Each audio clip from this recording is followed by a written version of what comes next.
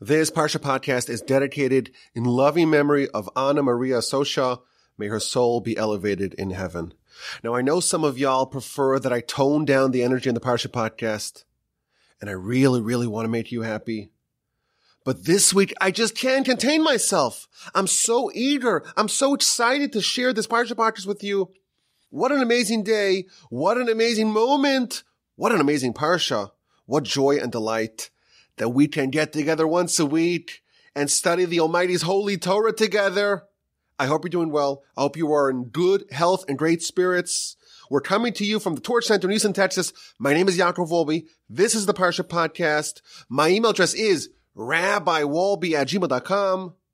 And let's begin. In our Parsha, Parshas Vayeitzei, Jacob undertook and pulled off an improbable, nay, impossible mission in our Parsha. He travels naked and penniless to a foreign country. Rashi tells us that on the way he was robbed of all his possessions except a walking stick. And he's going to this foreign country to find a wife. And he has no assets. And he has to get the wife from the wiliest trickster of all time, not only that, he has to beget a nation. And he has to avoid pitfalls. He has to avoid getting corrupted by Laban's sins. And he has to manage four wives and all their children and all their competitiveness. And he has to return to Isaac with the nascent nation in tow. And Jacob pulls it off marvelously, flawlessly. He gets the four wives. He gets the 12 children. He maintains his complete fidelity to God. Next week's parsha we read how he tells Esav that he, despite being in the proximity of Laban, the sinner, he maintained all 630 mitzvos. He survives the 20 year encounter with Laban and emerges unscathed. If you think about it, in our Parsha, it details the story of the founding of our nation. Jacob, of course, next Parsha is going to be renamed Israel. And the reason is because Jacob has his individual identity, but he is also the last of the forefathers. He is the one who has the 12 sons and the 12 tribes. He's the one who founds really the nation of Israel. Israel was destined to have 12 tribes and Jacob slash Israel was the one to do it. How did he do it? What went in to him accomplishing this most improbable feat in our parsha, starting off with nothing, starting off without any assets at all, and emerging from the parsha at the end, heading back to Israel, to Canaan, heading back to his father Isaac with 12 children and with the beginnings of a great nation. How did he do it? So I saw an amazing piece from Rabbi Yerucham Levovitz, the legendary dean of the Mir Yeshiva in Poland. And he says something incredible that puts, you know, Jacob's accomplishment into an interesting framework, but also gives us a framework or a structure of every amazing and improbable accomplishment. He kind of lays out for us exactly what we need to accomplish something great. Before we get into the piece, let's give some background. The parsha begins, Jacob leaves Beersheba and travels to Haran. That's where Laban lives. Now, in the next verse, Vayifga Makom, he encounters the place and he spends the night there. And of course, he has the memorable dream with the ladder. And we know the story. Now, Rashi, in his comment to the second verse of our parsha, he records two very unusual miracles that happened to Jacob. He notes that the word for vayifga, the word for prayer, is strange. It means vayifga means to strike or to clash or to encounter. So Rashi explains, what does it mean vayifga? It means that he prayed, but why does it use this unusual term to describe Jacob's prayer? Rashi also says, by the way, that Jacob now, he institutes, he establishes the evening prayer, Arvit, why does he use the unusual word vayifga b'makom and he prayed in that place when it could have said vayitpalel, a more standard word for prayer? Says Rashi, this unusual word, vayifga, is indicating that Jacob had an accelerated journey. The reason why it switches doesn't say vayitpalel, he prayed. That's coming to teach you that the land jumped towards him. We had two weeks ago in the Parsha, Eliezer, Parsha's Chayesara. He travels to go find a spouse, a wife for Isaac, and the land jumped for him. He had an accelerated journey. Same thing. The miracle happened to Jacob as well. The land jumped for him. His journey was accelerated. That's the first miracle. And then we have a second miracle.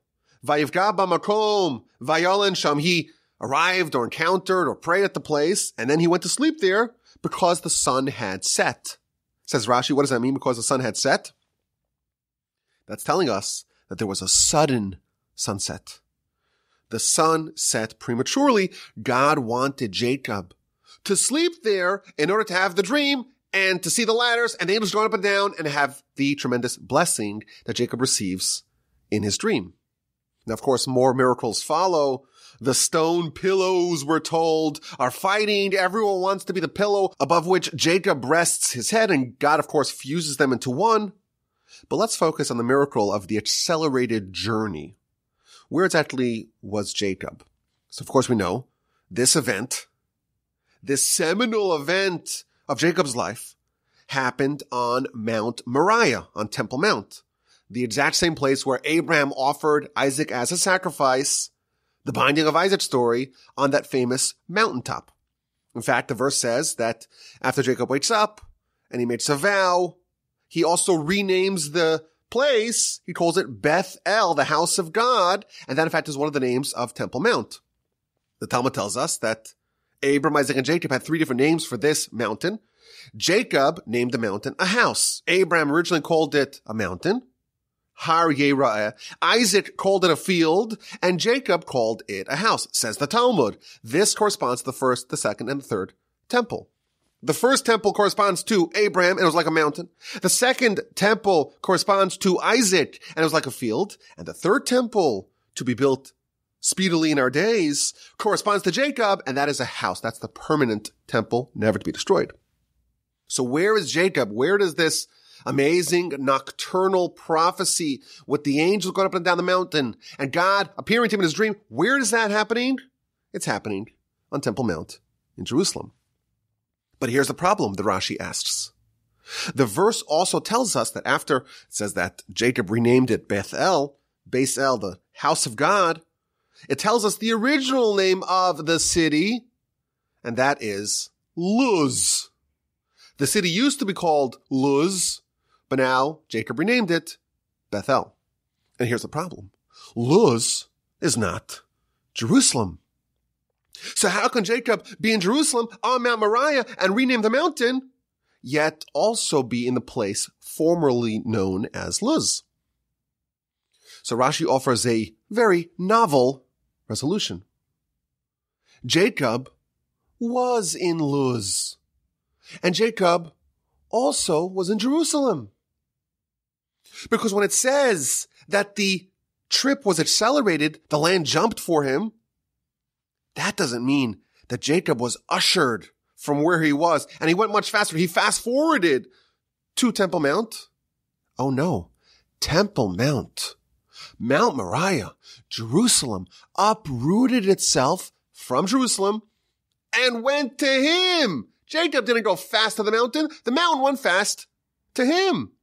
So the actual land that he was, the place where he was in was a place called Luz. He renames it Bethel. But it was also on Temple Mount because the way Jacob's trip was expedited, it was that the mountaintop uprooted itself and brought itself to Jacob, who was in Luz, and he renamed that place Bethel. And then I guess the mountaintop picked up and went back west to Temple Mount and once again reestablished itself there. Very interesting Rashi. When Eliezer, he was traveling to Rebecca, and that trip was expedited. He went fast. The people moved fast. Here is a different kind of expedited journey. The land uprooted itself and jumped towards him. Okay, this is really interesting. And Rashi continues with a further question. We know that Jacob is traveling from Canaan, from the land that we call today the land of Israel. He's escaping. His brother wants to kill him, and he's traveling east. And if you understand the layout, you would have Canaan, and there in Beersheba. And if you were to travel east from there, you would first encounter Temple Mount. And as you travel further east, you would encounter the city of Luz. And you go even further east, you go to Haran. If you read the verse, it says he went to Haran. And only afterwards did he travel to Bethel, to Luz, to Mount Moriah. Says Rashi something very fascinating. When Jacob passed Temple Mount, why didn't he stop there? Answers Rashi. He did not pay attention. He did not decide to go and pray there. And therefore God said, if you don't want to pray there, I'm not going to force you to pray there. I'll let you go. And he arrived all the way to Haran. He traveled all the way from Beersheba, all the way across the Arabian desert and arrived in Haran. And that's the first verse of our parsha. Jacob departed, he left Beersheba, and he went to Haran. But when he arrived in Haran, he said, Oh no, I made a big mistake. Is it possible that I passed by the place, Temple Mount, where my forefathers, where Abraham and Isaac prayed, and I didn't pray? So he made a decision. He paid attention. He decided to go back. And he went back and he arrived to Bethel. So he went back further west from Haran back to Bethel, also known as Luz. And when he got there, halfway back, the Almighty expedited it and made the land jump to him, uprooted the mountain, and brought it to Luz. So Rashi is explaining Jacob's journey. He left Beersheba and he's heading east. And he passes Temple Mount and he doesn't stop there. He continues east and God says, you know what? If he's not stopping, I'm not going to stop him. And then he continues. He passes Bethel, then called Luz, and doesn't stop there. And he continues east. And again, God lets him go. And he arrives in Haran. He arrives in the city of Laban. And he says, Oh no, what did I do? I passed Temple Mount, where Abraham and Isaac prayed. And I didn't stop there. So he turns around and he travels several days to get back west. And he arrives in Bethel and Luz. And then Temple Mount jumps to him and he prays and the sun sets and he goes to sleep and he has a dream and he wakes up and renames the city formerly known as Luz. He renames it Bethel. That is the background of how Rashi understands what happened, what the, how Jacob ended up in this place for this nocturnal prophecy. Now the Ramban, he totally disagrees with Rashi. He asks a series of questions. He says, wait a minute, the Talmud makes a list of three people that had the same miracle, that the land jumped or they jumped through the land, they expedited their journey.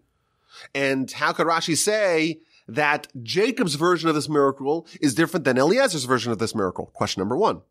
Question number two, the Talmud implies that it was Jacob who was moved fast to Temple Mount, not vice versa. And also, the Ramban asks a third question. It's illogical. Jacob, at least according to Rashi, arrives in Haran and he turns around, decides to go back to Temple Mount and he does half the journey manually. And only then, when he's in Bethel, also known as Luz, only then does Temple Mount port over, jump over, uproot itself and come to him. Doesn't make sense. If you're going to make a miracle, don't do a half-hearted miracle. So he has a more traditional understanding of what happened in this journey. Take a look at the Ramban at great length. But regardless, everyone agrees that Jacob went all the way to Haran. He arrived in the city of Laban, the destination, and he turned around and either he immediately jumped to Temple Mount. That's how the Ramban would explain it. The once in three times of history miracle.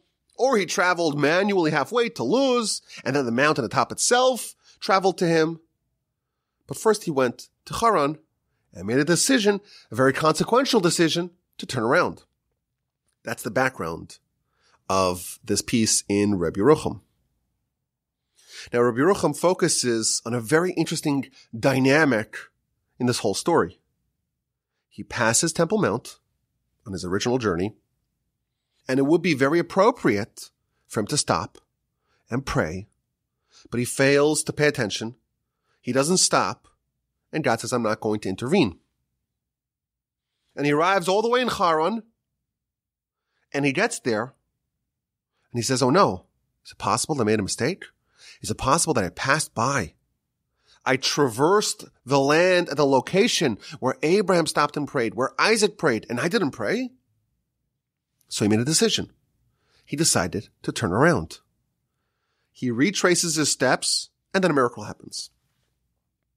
An amazing thing here.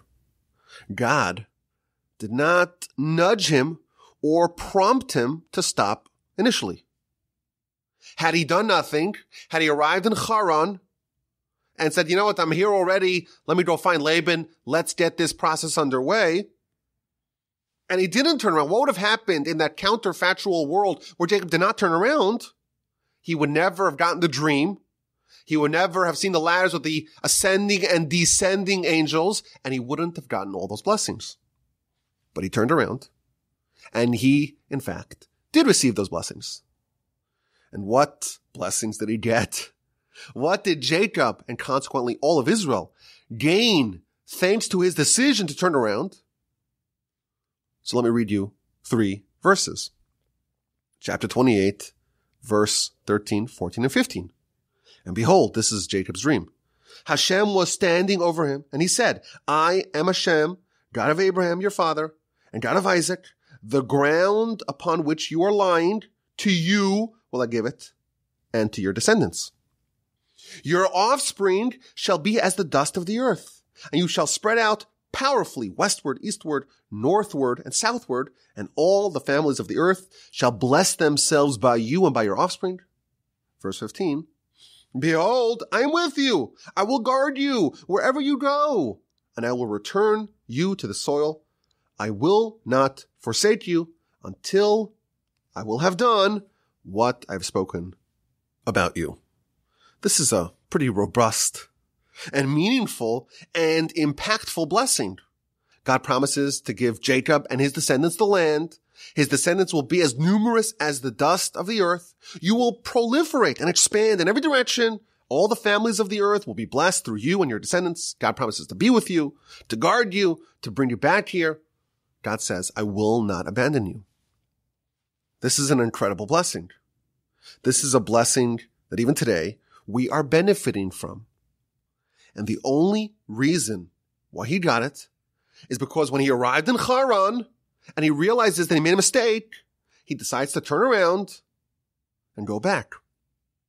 That triggered miracle number one of expediting the journey, either, you know, the way Rashi understands it, uprooting the mountain, bring it to him, or the way the Ramban understands it, having him fast forward to Mount Moriah. But then he gets all those miracles. The lever, the trigger, the fulcrum that tipped all those blessings his way was that he made a decision to go back and pray where his forefathers prayed. Is this the most important decision of all time? You know, we see that Jacob's mission in our Parsha is pulled off flawlessly. How did that happen? How was he so successful? Because of this blessing. Because God was with him every single step of the way. God never abandoned him. There were no lapses in the complete divine protection. And how did he earn that? How did he merit that divine Kevlar and blessing? Because he said, oops, I made a mistake. I passed by an important site and forgot to pray. Let me turn around and go all the way back there. And that small decision completely altered the trajectory of Jacob's life, but truthfully, the trajectory of all Jewish history. Isn't that amazing? One bit of inspiration to go pray. And as a result of that, a tremendous, incredible blessing that not only made Jacob's trip a smashing success, but his descendants are reaping the fruits of that blessing are benefiting from the dividends of that blessing until today. Now, if you think about it, you know, Jacob was inspired to turn around, go back to Temple Mount. It's a very nice thing. But how is it so powerful? Typically, the effort, the investment is going to be commensurate to the output, to the reward. Here, the reward seems to far outshadow the inspiration, the input. There seems to be asymmetry, incongruence between Jacob's inspiration and the fruits that it bore. How do we understand this? So we're going to give you the simple answer, and then we're going to give you the more advanced answer that Rabbi Yerucham offers. Jacob was already in Haran. He did the whole very long journey across the whole desert. It most likely took multiple weeks to travel from Beersheba all the way to Haran. He is already at his destination. And he's like, oh no, I forgot to pray. And he went all the way back to go back to the point of origin to go fix that, to go pray. You know, when I started teaching at Torch all the way back in 2012, I used to present the following dilemma in some of my classes. I would say, you know, how far into your commute when you realize that you left your phone at home, how far would you have to be to say, you know what, I'll just go to work without my phone and I'll get my phone later on. Today we don't have that dilemma anymore. Maybe fewer people have a commute. I don't know. Is that true? But more importantly, people view their phone as like an appendage to their body. They're so attached to it, they would never forget it. And you know what? It's so crucial to people's lives, or at least that's what they assume. Even if they arrived at work, maybe they would turn around and still go get it. I remember reading, maybe this is actually good advice. When you're driving your toddler, give your toddler your phone. And you'll have two benefits. Number one, you won't text and drive, and you'll never forget your baby in the car because you'll always remember to get your phone. But the truth is, of course, you know, I'm talking to you. You're part of the Parsha Podcast family. You actually have a very good reason to take your phone with you because, after all, that's how you access the Torch podcasts. What are you going to do without it? You're going to drive to work and you're going to listen to terrestrial radio with all the ads and all the trite banality of news and weather and traffic and politics and music and talk shows. You're not going to do that. Once you start with podcasting, or listening to podcasts, you can never go back. So this is not a good dilemma for you because you have to take your phone with you. And you have a very good, justifiable reason to do so. But listen to this dilemma. Imagine you forgot to pray at your house and now you are five minutes into your journey. Would you turn around? Or what if you were traveling from Los Angeles to Miami, cross country. And then you remember when you arrive in Miami that, oh no, my parents, when they arrived in Vegas, they would always pray in Vegas. Let me turn around. Could you imagine that? You forgot to pray and now you are in South Beach. What would you do? Jacob arrives all the way at the end of a multi-week journey he traveled all the way from Beersheba to Haran. He gets there and says, Oh no, I made a mistake. I forgot to pray on Temple Mount. Let me turn around. This is way further than LA to Miami. This is more like the Trans-Siberian Railway. He is several weeks into this journey, and he's several weeks away from Temple Mount, but he turned around nonetheless. It's a very powerful decision, and maybe that's why it is so consequential, why he earned so many rewards, eternal rewards for that decision. Now, Yerucham says something a bit more advanced. What is the meaning of Jacob's decision to turn around and go back to pray at the spot where Abraham and Isaac prayed? This is much more than a simple decision to go pray. Rather, this was Jacob making the bold, courageous, and frankly, irrational decision to go found the nation. Jacob girded his loins and had the gumption to say, I am hereby going to found the Jewish nation.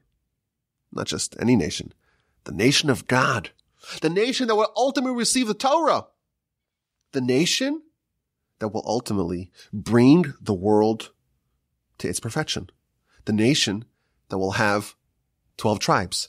There's going to be one person who's going to be renamed Israel who's going to found this nation. I'm going to be that person. That was Jacob's decision to turn around. The Jewish people were always going to be composed of 12 tribes. In fact, Isaac was supposed to found the nation, but the Midrash actually says that Esav, when he was born, he savaged Rebekah's womb so that she will no longer be able to bear children. She'll only have two. Rebekah was really supposed to be the mother of 12 sons, but that didn't work. Jacob was not a shoo-in to be the final patriarch, to be the one who becomes Israel, to bear the 12 tribes. This is a role that he chose for himself. When did he choose it? When he arrived in Haran and said, I'm sorry, I'm not just going to here get married, start a family, or even a dynasty. I'm going to found a nation. And what's appropriate for you to do when you are about to do something so grand and consequential is you have to pray at the place where Abraham and Isaac prayed. And he arrived in Haran and he said, you know what? I must turn around. I have to travel three weeks back to Temple Mount. I cannot undertake this ambitious mission without that prayer. Can you imagine what this is like? You finished the long, arduous journey through the desert. You're exhausted. You're famished. You're relieved to finally be at your destination. And you turn around and you make the whole journey back to go pray. And your plan is you're going to pray and then you're going to turn around and retrace your steps to travel back to Haran. The reason why Jacob did that is because he made a choice. He made a bold and audacious choice to become Israel, to become the founder of these 12 tribes. And the only way to do that is if you pray at the same spot where Abraham and Isaac, your antecedents, prayed. The choice that he made to turn around was a choice to say, I am hereby choosing to become Israel, to become the founder of the Jewish people. Can you imagine what kind of guts it takes to undertake that initiative?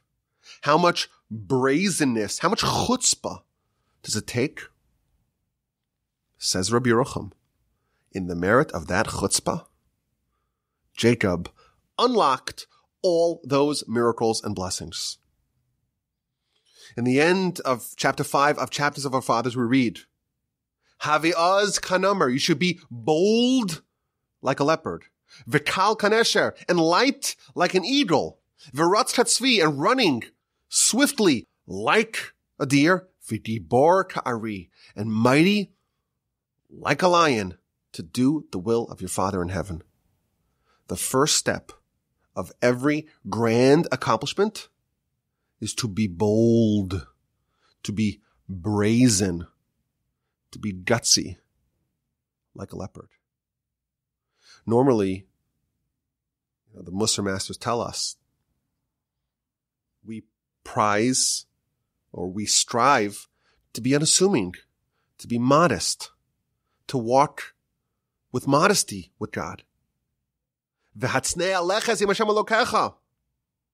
Jacob, in fact, was praised in last week's parsha for being unassuming and modest. This is totally out of character for him to say, I am going to be the one who's going to found this nation? That's a very bold and a bit irrational thing to say. But the only way to do something so big, the first step that is needed to undertake something massive is to be a bit bold and a bit irrational. And to turn around and march back to Temple Mount and say the proper way to found this nation is to first pray where Abraham and Isaac prayed and to banish any timidity and meekness and go for it. Now, Rabbi Rucham contrasts Jacob's boldness with Aaron's diffidence. In Leviticus chapter 9, this is in the beginning of Parshas Shmini. The tabernacle is finally built, and Moshe tells Aaron, Krav el approach the altar and go bring the sacrifices. And Rashi tells us that Moshe was nudging Aaron because Aaron was a bit diffident. He was a bit hesitant. He was unsure. He was justifiably scared to walk into the sanctuary to do the sacrifices. Who could say about themselves that they are in fact worthy of this? Aaron had the understandable uneasiness, uncertainty, bashfulness, didn't want to do it, was scared to do it. And Moshe nudged him. This is what you need to do. This is what you were chosen to do. Jacob is bold like a leopard to make this great undertaking. And once he makes that decision, all the paths are opened before him. The land jumped or he jumped. The blessings were given. The obstacles were cleared.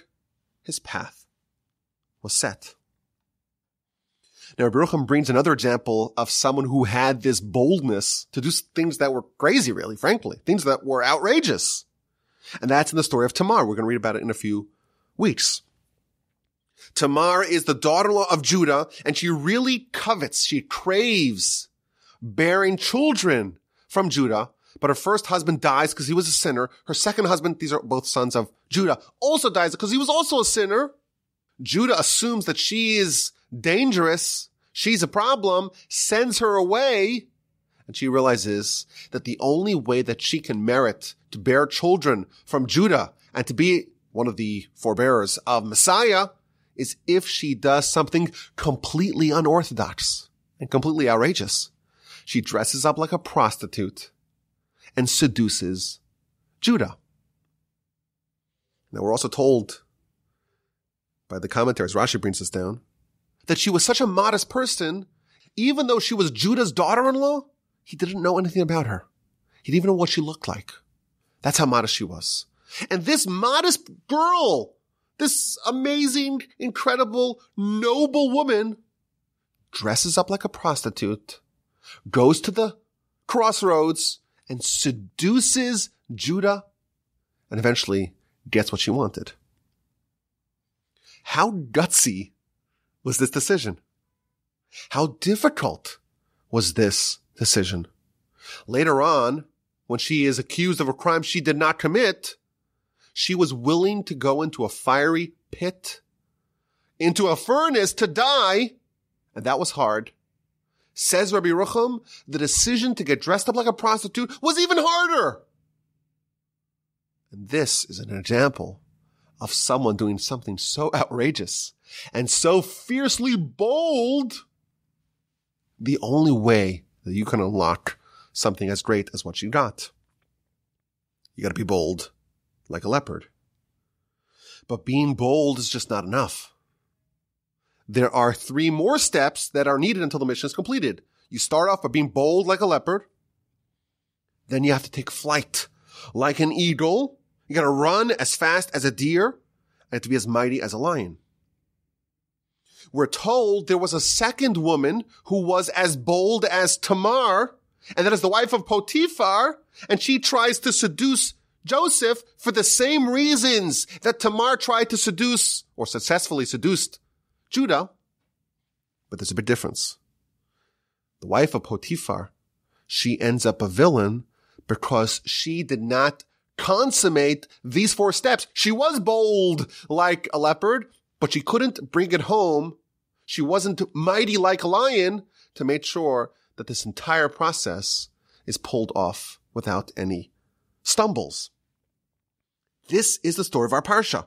Jacob starts off with nothing.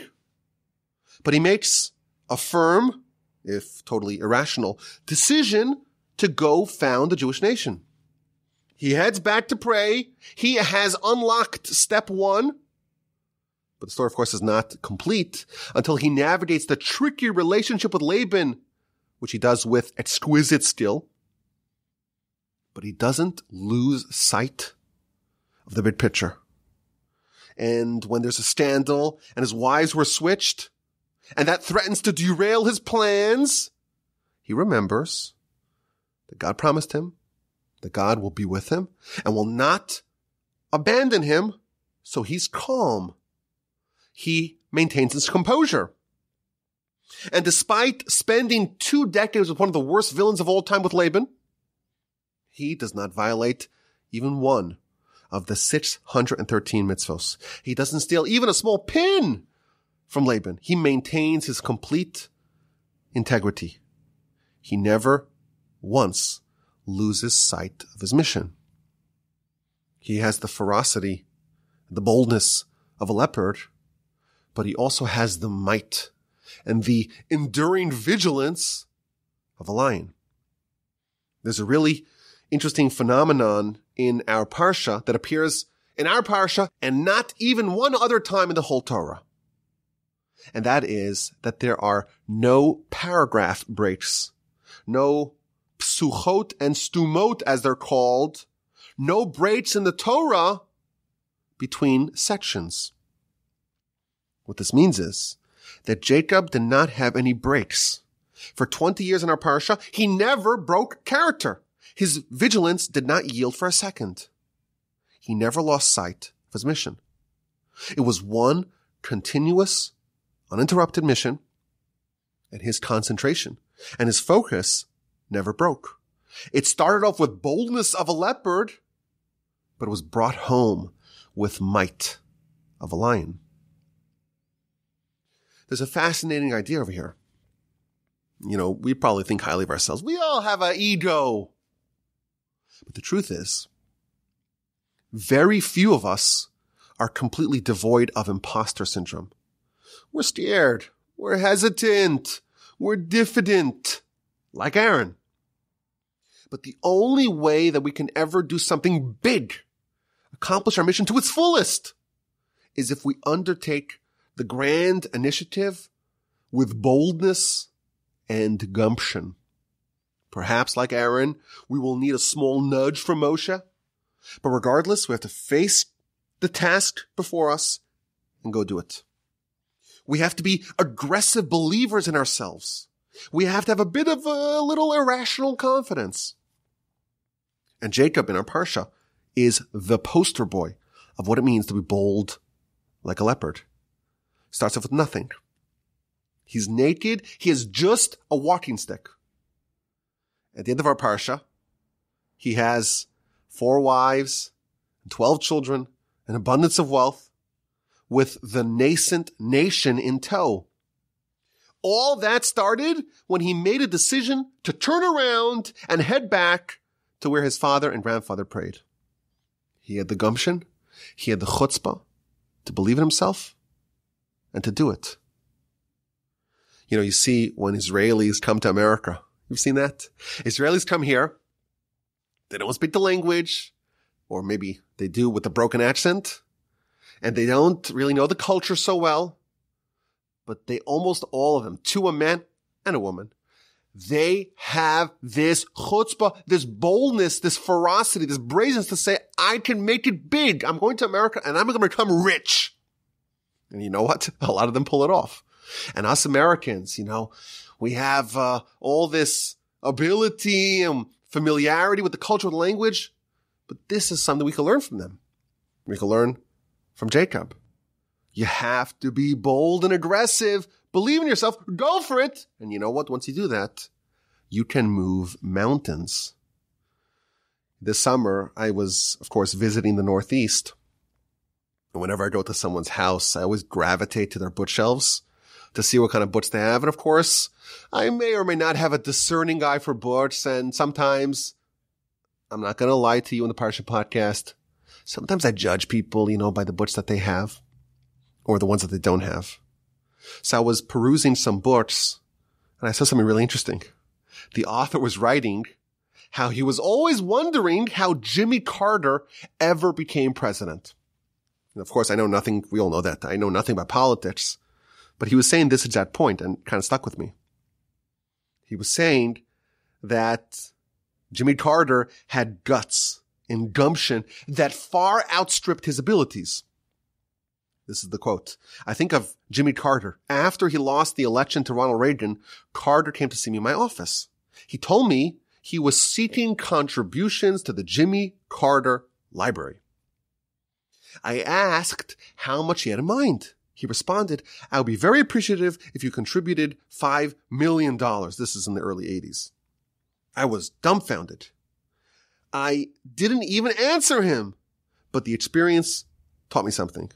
Until then, I'd never understood how Jimmy Carter became president. The answer is that as poorly qualified as he was for the job, Jimmy Carter had the nerve, the guts to ask for something extraordinary. That ability, above all, helped him get elected president. But then, of course, the American people caught on very quickly that Carter couldn't do the job and he lost in a landslide when he ran for re-election. And I want to reiterate, I literally don't know anything about politics.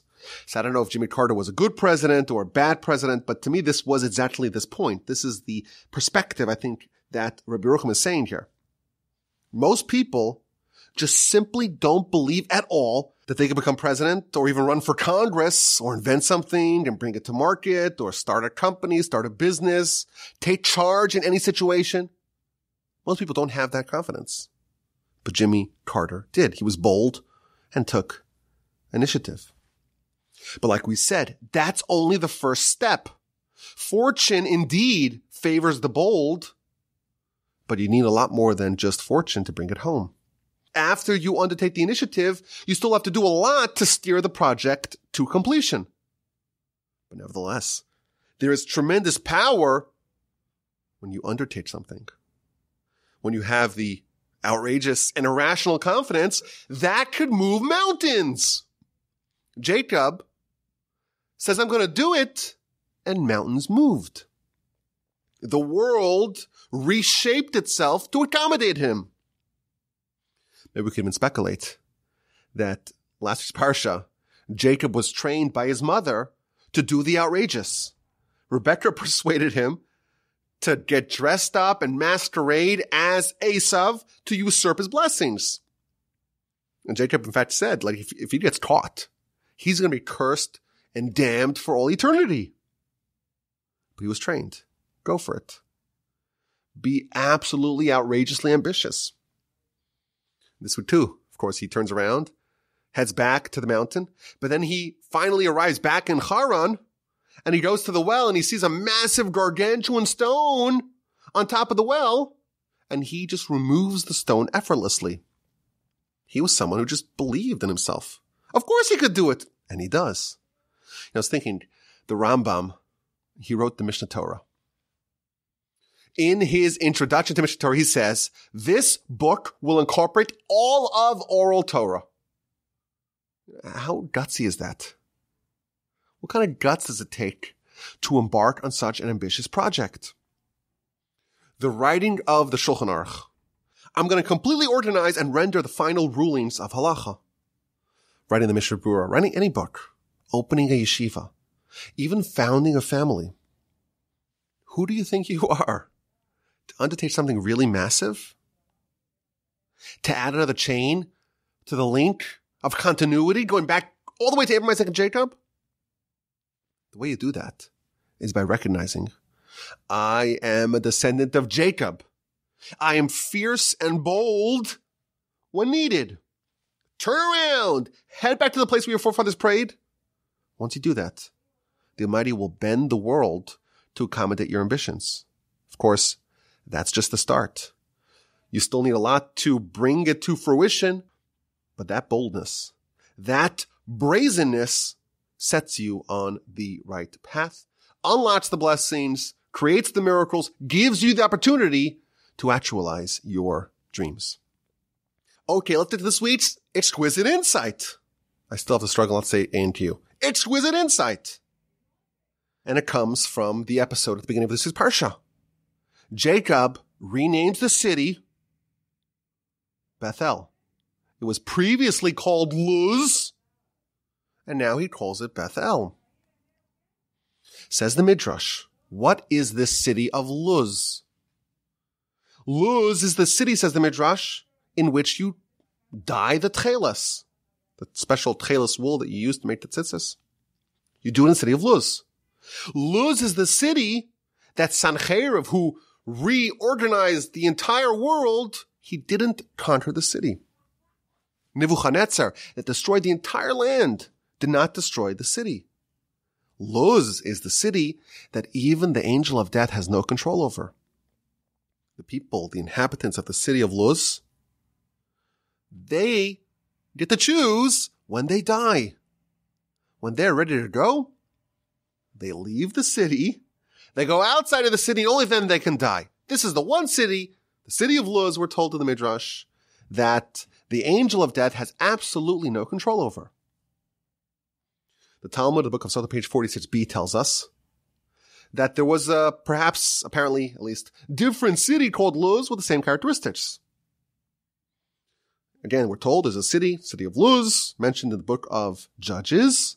And again, it tells us these four things. They colored the Tcheles, Sancherib was not able to reassemble the city or move it around. Nebuchadnezzar couldn't destroy it, and even the angel of death has no control over the city. There is a city, or at least the concept of a city, called Luz, that is immune to the angel of death. Sancherib and Nebuchadnezzar cannot touch it, and that is where you dye Tcheles, wool. What does this all mean? So there's another really interesting midrash. This is in Vayikra Rabbah 18.1. It tells us that the Roman Emperor Hadrian was crushing bones, human skeleton, human bones. And he asked the great sage Rabbi Yehoshua Bar Hanania, where does the Almighty blossom man in the future? In the future, we believe in the resurrection of the dead. What is the kind of beginning of the blossoming of man anew? So he tells him it's from a bone called Luz, not the city of Luz, but the bone called Luz, which is part of the spine. He says, is that true? So the emperor was a bit incredulous. He says, bring me that bone. So they brought him the bone and he put it in water and it didn't become brittle. And then he tried to grind it and it didn't become dust. And then he tried to burn it in a fire and it wouldn't get consumed. And then he said, you know what? I'm really going to destroy this Luz bone.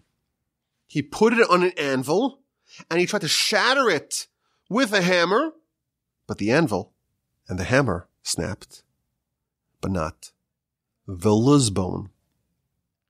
There is an indestructible little bone called Luz that will serve as a seed for the future body blossoming from the ground in the resurrection of the dead. This Luz bone, it's somewhere along the spine, either on top or on bottom. According to the Kabbalists, it's right under the tefillin at the top of the spine. Others say it's at the very bottom of the spine, but there is this bone, really small bone, we're told, that serves as the seed for the future you after the resurrection. Now, why does this Luz bone have this tremendous property of being the one that reinvigorates the body and resurrects the body? So we're told in the commentaries that this is a completely spiritual bone. It only consumes nutrients from spiritual meals, specifically the melava malka meal that we eat after Shabbos. There's one meal a week that we eat when we're totally full. You've just been binging on food the whole Shabbos. Shabbos is over. You make Havdalah and you're supposed to make another meal called the Malav Malka meal. That meal, it's just a spiritual meal because there's no physical appetite for any food then. And it's just a mitzvah. There's no desire at all. And the spiritual bone only consumes from the spiritual meal. And of course, what does this have to do with anything? Here's the insight. Not quite the exquisite insight, just the insight number one. When was death decreed upon mankind? When did man become condemned to have to die? with the sin of the eating of the tree of knowledge, with the sin of Adam. Well, when was that? When did Adam eat from the tree of knowledge? Well, that was Friday afternoon. And Adam consumed the fruit and that was absorbed by every part of Adam's body, Adam and Eve as well. And that food, that consumption, that nutrients was like venom and every part of your body that consumed from that fruit is now condemned to suffer from death as a result of it absorbing that part of the fruit, absorbing the fruit of sin. But again, there's one part of your body, the luz bone, that only eats Saturday night. So when Adam and Eve ate from the tree of knowledge, the luz bone did not consume anything. And therefore it did not eat from the sin, and therefore death was not decreed on this bone. Therefore, in this bone, it's still working with the assumptions that man is supposed to live forever. The Kabbalists elaborate, this bone is the opposite of the rest of the body. When you are alive, it seems dead. Person eats something and every part of the body is trying to fetch some bit of nutrients and the luz bone says, I don't want any of it.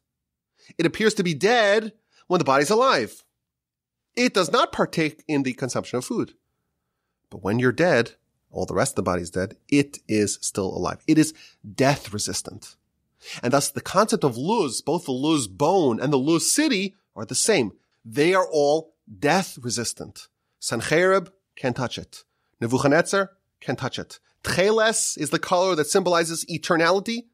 That is where it's done in the city of Luz. The angel of death has no way to enter the city because like the Luz bone, the Luz city is death resistant. Now Jacob, he renames the mountain Beth El, but the city used to be called Luz. Chapter 28, verse 19, beginning of our parsha. Ve'ulam Luz Shem Ha'ir Larishana. However, Luz was the name of the city initially. So the Kabbalists tell us something really fascinating. The Ve'ulam, the word Ve'ulam, which means, however, those four letters, Vav, Aleph, Lam, and Mem, they stand for V'ne'eman Atal Lahachayos Mesim. This is the word that we say in our prayer, and you are trustworthy to revive the dead. Ve'ulam, we trust you to revive the dead. And the verse continues, Luz Shem Ha'ir L'Rishana. Luz Shem Ha'ir L'Rishana. Luz was the name of the city initially, but the word Ha'ir, which means the city, can also refer to waking up like hitorerut to wake up. So you could read this verse, Vi'ulam, and the resurrection of dead will happen, or luz is the beginning of the resurrection. The first to wake up is the luz. Fascinating stuff here. That's the exquisite insight. The exquisite insight is that hinted to in our parsha, the Kabbalists tell us, is this idea of the luz bone being the first one to awaken from the dead. Now it's interesting, Jacob, the Talmud tells us, he never died. He represents the Luz. If you look later on the Parsha, when Jacob is manipulating the mating environment of the animals, chapter 30, verse 37, it tells us that Jacob made sticks out of luz tree. Vayikach lo Yaakov makel lach viluz. He took luz, which is an almond tree, but again the same word, Jacob is forever associated with this idea. Jacob is resistant to death. Now, one more important point, or maybe two more important points. For the wicked people who don't have any spirituality in their lives, this bone is never fed. If you're not spiritual in your lifetime now, the luz bone will die and wither even when you are alive. And finally, some say that cremation actually does destroy it. And therefore, if this is pertinent to you, do not make that tragic and short-sighted decision of getting a cremation. If grandma or grandpa really want to get cremated, violate their will. Bury them in a Jewish burial ceremony. They will thank you forever. So that's the end of this week's Parsha podcast. And I know you wanted to be calm and measured and reserved and withdrawn. And I just, I, I couldn't do it. I tried. I could not do it. I'm too excited. What an amazing parsha. What an amazing lesson. Thank you, Rabbi Yerucham, for this incredible idea. Be bold and fierce like a leopard. This amazing insight, this exquisite insight of the Luz bone. I thank you for listening. Have an amazing rest of your day. Have a fantastic and splendid and sensational and incredible and outrageously enjoyable Shabbos upcoming. And please, with help of the Almighty, we'll talk again next week. The email address is rabbiwolbe at gmail.com.